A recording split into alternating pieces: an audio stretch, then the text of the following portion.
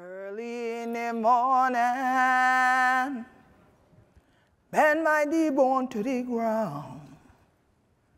Early in the morning, bend my knee bone to the ground.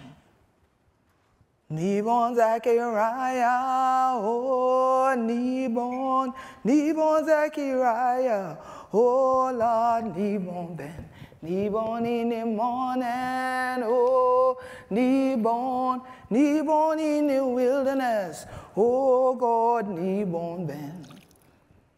Ashe.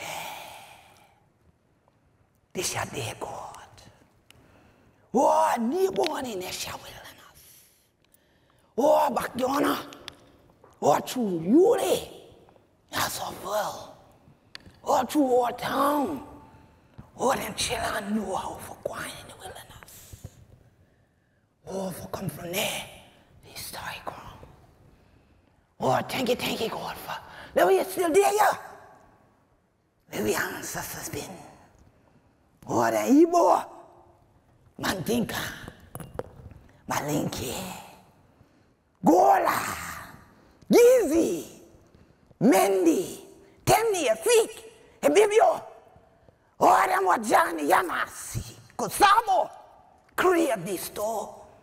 Oh, hold on the Shalan and the Bokolemsi. This is a place for the children stand. Take it, take it, God. Now we for how for join the power, honor the Giwi. Ha! Right, on there in our wilderness. And then children were coming, you know. Jacksonville, North Carolina, Jacksonville, Florida. Act like they're not see what we see when we grind yonder in the wilderness. Then I know I say, every tree to grind and a grow like a year.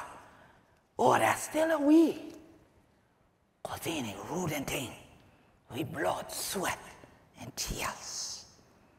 Så den overstand how we can get the tree. Then overstand how oh, when we go into the water, we get it that too. Because the water to bring we, the water going to take we back.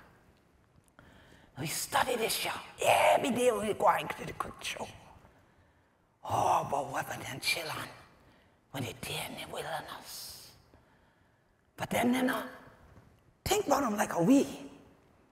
Then I know I say, the wilderness, the we, and that who we be.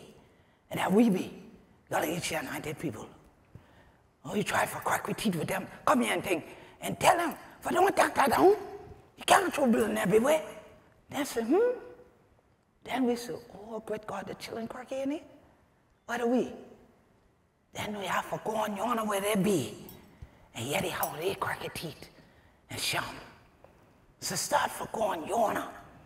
Sometimes you go on yonder, the elders tell you for come up cool on it. But I get yonder, the sound the rest of people. And I crack my teeth so, and I said, no. You have to say, hey y'all, how you doing? When you go across the bridges. And I started thinking about those bridges and how every time a built bridge was engineered, somehow it engineered out parts of our cultural community in the Gullah Geechee Nation on the Sea Islands, from Jacksonville, North Carolina to Jacksonville, Florida, because no one thought about the legacy within the trees. And they definitely didn't think about us that prayed beneath them.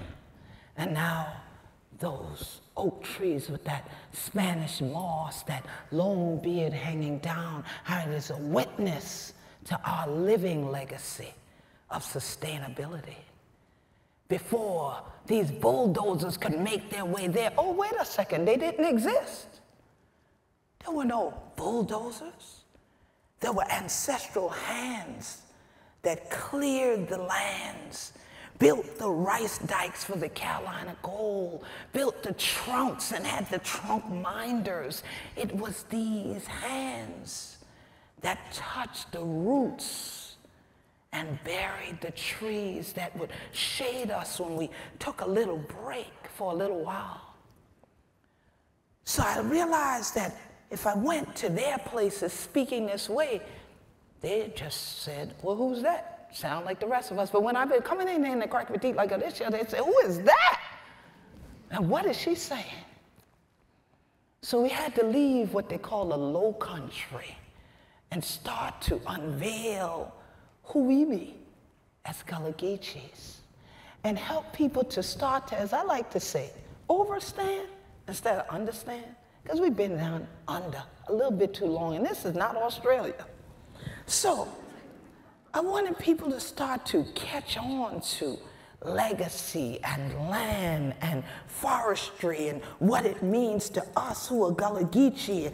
They would think about the fields and the agriculture, but they didn't know how all of these are part of an ecosystem that has to be balanced, like our culture and our community.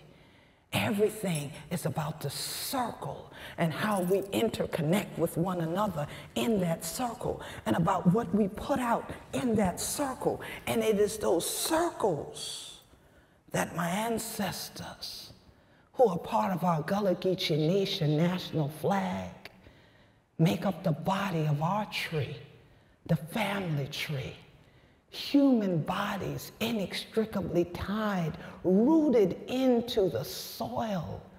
And from Sea Island soil grew Gullah Geechee souls that understood that the tree is not just good to you when you cut it down, as we say, chop them for wood and things like that for warm you. But the trees help you when the storms come, not only in life, but we're literally in a hurricane zone. So why would we clear cut the trees? And then I said, but you know what? We have to have a clear cutting message that we to the wilderness, the wilderness to we. So when people start coming in and saying, oh, we want to talk about wildlife, we thought it was a party at first, the wildlife. Yes. Then we realized very quickly, no, they were more interested in the loggerhead turtles and the red foxes and the black bears. And they were interested even in the alligator that we've been a nampony tail and things like that when we catch them. More so than they were intrigued or interested in the indigenous cultural community that had kept the land in its natural state, that in their world, in the Western world, was called wild wherein to us it was called blessed.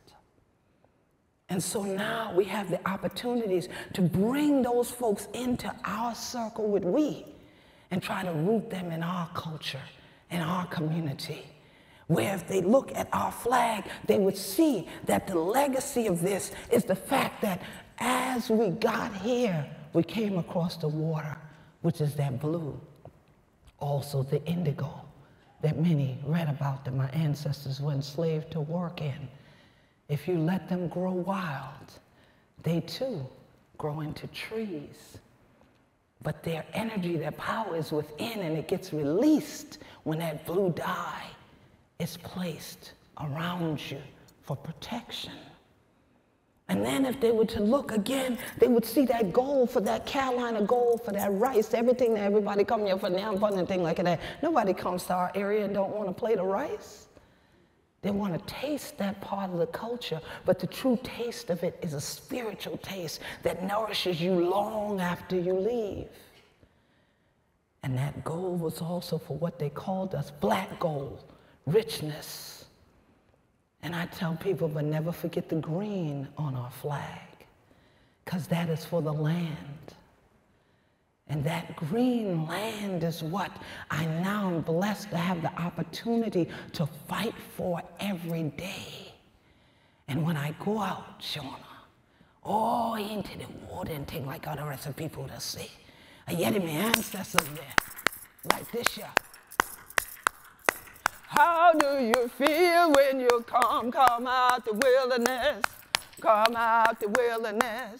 Come out the wilderness. How do you feel when you come, come out the wilderness? Leaning on the Lord. Now when I be there home, I would yet it ringing. Because everybody there would joined in the circle with the singing with the shouting with the holding pun are. and Eshalan. It's gonna get you anointed people of the Sea Island sign. And many people said, Well, I hadn't heard of you when I went up Capitol Hill to create something that I think a few people in here know something about a corridor, which was now the first national heritage area in America, number 37. That was the first to honor a living culture, the Gullah Geechee Cultural Heritage Corridor. So when I heard about this thing, said Corridor Connect, I figured, well, finally somebody recognized something that we all need to come together in a circle. And we can't just keep the wilderness and the forest for the creatures, for the Black Panthers. And believe me, that's my school mascot, so I love a Black Panther. I'm all about going out prowling if we're going for the right reason.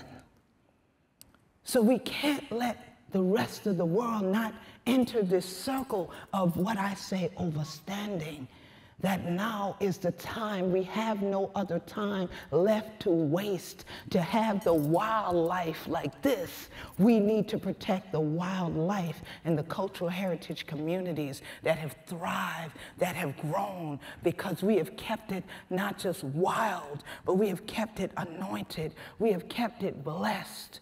We can say to our ancestors, Ashe, that we stand, that we live here yet. Another day, another day amidst the trees where there's that beautiful sea island breeze, where there are those blessings that everyone in North Kakalaki, South Kakalaki, Georgia, and us, as we would say, Florida, can come to not only the islands on the seas, but they can journey with all of us and connect through the corridors where we all begin to understand that we are the wilderness and the wilderness the we. How do you feel when you come? Come out the wilderness, come out the wilderness.